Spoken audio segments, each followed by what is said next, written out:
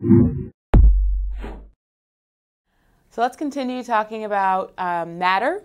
And so remember again that the law of the conservation of matter is that matter is, matter is neither created nor destroyed.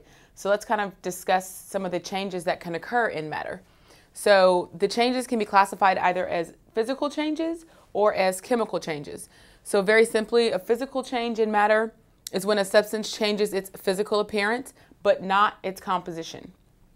And all changes of state are physical changes. So remember, changes of state, I'm talking about whether something is a gas, a solid, or a liquid. So an example of a physical change would be the evaporation of water, where you have water going from being a liquid to being a gas, right? So the state has changed, the way that it looks more or less has changed, but it's still composed of water molecules. Then on the other hand, you can have a chemical change, which is in essence a chemical reaction. So that's when your substance is transformed into a chemically different substance. And a good example of that is plants using carbon dioxide and water to form the sugar glucose. And that is changes in matter.